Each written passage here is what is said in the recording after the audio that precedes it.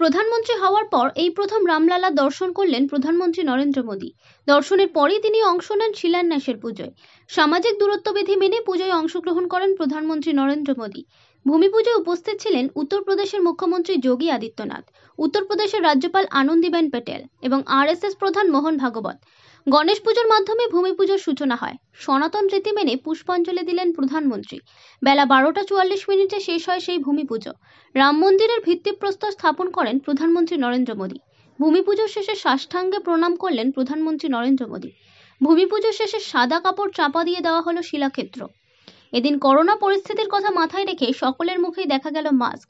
mask পরে যজ্ঞানুষ্ঠানে যোগ দিয়েছেন সেবায়েতরাও